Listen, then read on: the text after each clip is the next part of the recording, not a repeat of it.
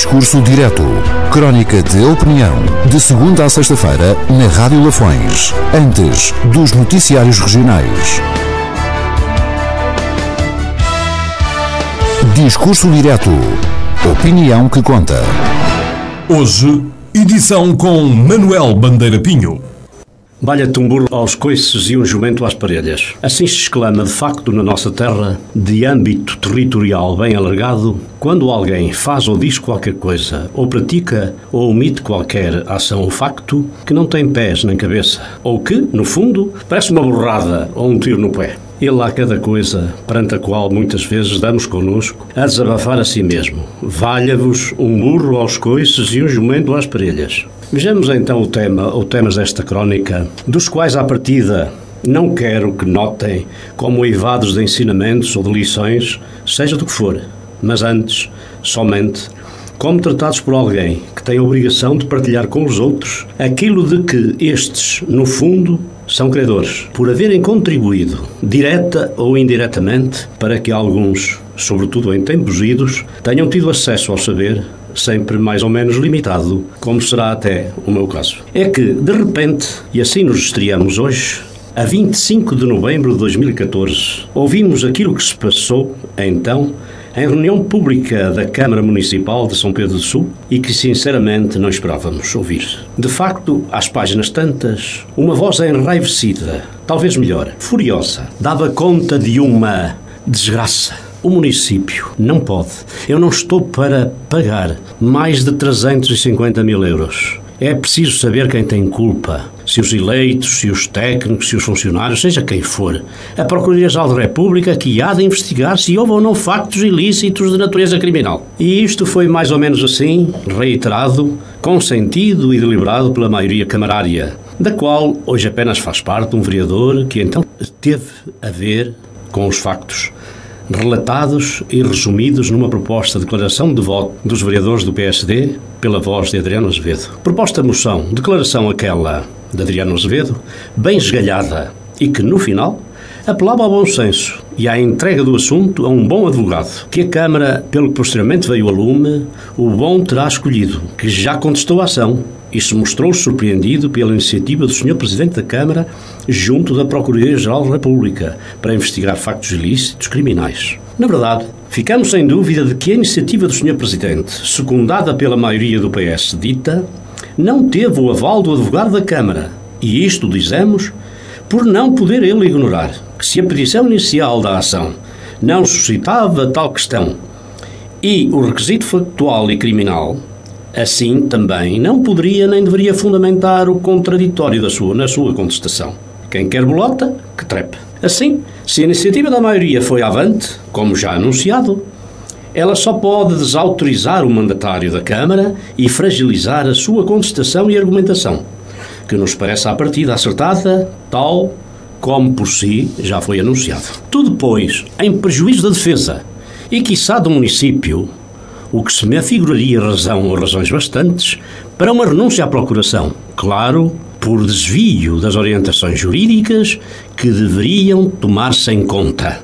Eu, pelo menos, assim faria. Para mais, sempre não ficaria prejudicada a hipótese de, com a instrução da ação administrativa ou após a decisão, vir a suscitar-se a eventual conduta ilícita e, talvez mesmo criminal, de alguém e, no fundo, só poderia tratar-se de corrupção ou abuso ou desvio de poder, com o consequente eventual branqueamento de capitais, com responsabilização do município e direito de regresso deste, conforme o artigo 70 do regime jurídico de organização e identificação, ou a do crime, a eventual indemnização dos seus autores. Para já, esta tempestade em copo d'água até parece propositada à criação de um clima de alarido e vitimização. Assim não conseguimos gerir os destinos do município, mas que de modo nenhum sempre não poderá conduzir a qualquer acordo ou transação judicial. O assunto, dado o alarido, a importância, a gravidade, o impacto conselhio e até nacional, com ou sem arquivamento, por enquanto, do processo criminal, teve o seu termo, imaginem, por consenso. Assim foi melhor, valha-nos isso.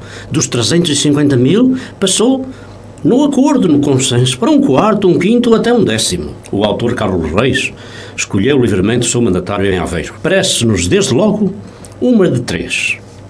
Primeira, ou que ele, advogado, é um craque na matéria, o que não devo pôr em causa? Ou, segunda, que Reis não deve ter ficado agradado com o seu mandatário anterior, o tal que recorreu da deliberação da Câmara por esta não haver notificado o cliente do sentido da decisão de indeferimento da viabilidade da instalação de um posto de combustível e seus fundamentos, para que ele então pudesse contraditá-la o que não nos parecia curial, diga-se, face à lei aplicável, que não importa aqui citar e desenvolver.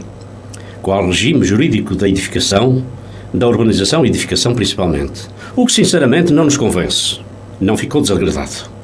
Terceira, ou finalmente, na que mais acreditamos, porque este não viu reunidos os pressupostos para fundamentar o pedido indemnizatório, tanto mais que, segundo também já ouvimos ao ex-presidente, a Câmara Municipal até veio cumprir o que o Tribunal Central Administrativo do Norte sufragara sem reação do proprietário e hora demandante, o que pressupõe que estará conformado com a fundamentação do indeferimento do seu PIP pedido de informação prévia. De resto, sempre deixamos escapar agora que na matéria como bem observou o advogado da Câmara, não se está perante uma matéria de licenciamento de uma operação urbanística, nem sequer de uma autorização dessa mesma operação urbanística. O procedimento administrativo é que começa com uma informação ou pedido de informação prévia, um PIP, e a direção da instrução do procedimento administrativo é da competência do Presidente da Câmara, que a pode delegar a direção do procedimento, note-se, em qualquer vereador, com a faculdade de subdelegação ou em qualquer dirigente do serviço. Todavia, as decisões em sede de instrução do procedimento administrativo, com a direção do modo já referido, essa são da competência do órgão Câmara Municipal, que deliberando a respeito, onde depois encontrar as delegações e subdelegações para as decisões em tais matérias que em parte nos parecem até indelegáveis por força daquela lei especial que já invocamos. Deliberando a respeito, dizíamos, terá que notificar primeiro o ou os interessados do sentido da decisão e seus fundamentos, no caso, o indeferimento. O que ela não fez, pese embora a discussão pública que a matéria suscitou e que assim terá impedido que Carlos Reis tenha vendido, e não sei até se por menos de 350 mil euros que agora pede. Pretendendo agora, imaginem só, ficar com o terreno e pedir uma indenização, talvez, de valor mais baixo do que aquele que resultasse da venda. Como compreender isto? Haverá alguém que o compreenda? Onde, pois, o prejuízo se Reis, ao ficar com o seu prédio, a sua caldeiroa, ainda pode vir a conseguir qualquer dia uma melhor rentabilidade? De resto, jamais podia contar, no caso, com o ovo no cu da galinha. Se vendia e a quem? Por quanto? E se esse valor ficaria ou não condicionado à existência do tal poço de petróleo ou mesmo do poço do ouro. A 25 de novembro de 2014, em São Pedro do Sul, perante o insólito alarido, o tiro no pé, demos connosco a refletir se não pode tratar-se também de um qualquer efeito de contágio do ambiente vivido na véspera com o que acontecera em resultado da investigação e da prática indiciária de crimes de corrupção ativa e passiva e de branqueamento de capitais daquele imanentes, reportadas a José Sócrates, ex-primeiro-ministro. Mas também pode ser por efeito de uma comemoração perversa do 25 de novembro, não de 1975, mas de 2014. Ali, em 1975, como vem sendo dito sobretudo por apreniguados do Dr. Mário Soares e por este, acabou o PREC, e foi dada a machadada no PCP e evitada a guerra civil. Hoje, por cá, começou a guerra civil e político-partidária, nem que, pelo meio, se meta a Procuradoria-Geral da República e, quiçá, o Sr. Juiz Carlos Alexandre. Estes proportentes que não tinham nada que prender preventivamente o engenheiro Sócrates da forma como fizeram. Como diz Mário Soares, de forma mais do que acalorada e os seus apaniguados.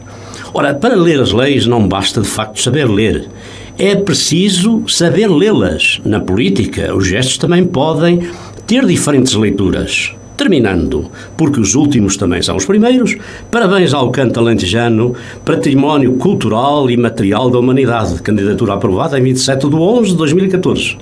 Nós por cá, Apesar de termos grandes grupos e grandes vozes, damos connosco por vezes a ouvir aquilo que alguém pede, impõe ou julga como a melhor canção, o Arreio às Calças. Até para a semana. Discurso Direto. Crónica de opinião. De segunda a sexta-feira, na Rádio Lafões. Antes dos noticiários regionais. Discurso Direto. Opinião que conta.